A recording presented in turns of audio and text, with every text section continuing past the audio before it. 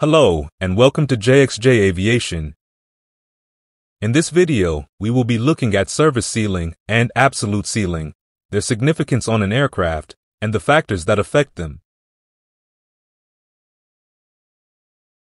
First, let's understand what is service ceiling. Service ceiling is the maximum usable altitude of an aircraft. At this altitude, if we consider standard atmospheric conditions, a piston engine aircraft with maximum power will have a maximum rate of climb of 100 feet per minute. And a jet engine aircraft, the maximum rate of climb would be 500 feet per minute. Now, let's understand what is absolute ceiling. This is the altitude at which an aircraft's rate of climb becomes zero. This means an aircraft cannot climb higher than this altitude, even with maximum engine power. This power is just sufficient to maintain level flight, or in other words, the lift generated is equal to the weight of the aircraft, and it becomes impossible to generate more lift.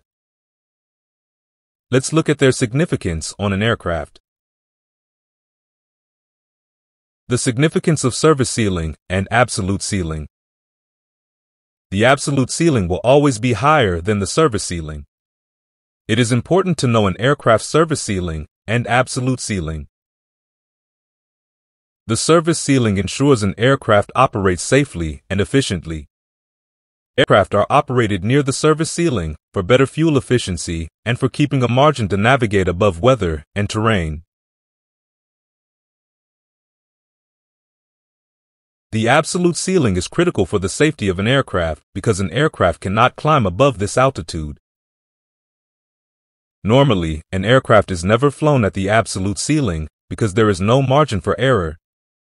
The only option available at this altitude is to descend, which makes it difficult to avoid weather, terrain, or other aircraft.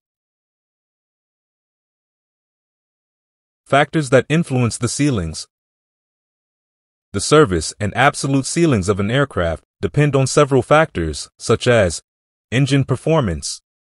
At higher altitudes, the density decreases, which means less oxygen is available for combustion in the engines.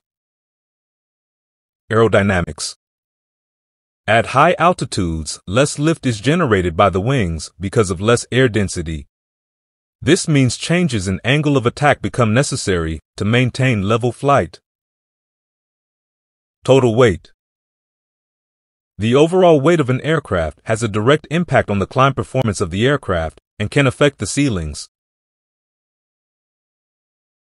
That's all for my video on the absolute ceiling and service ceiling. Thank you for watching. If you liked the video, please share and subscribe. And you can continue watching some of my other videos as well.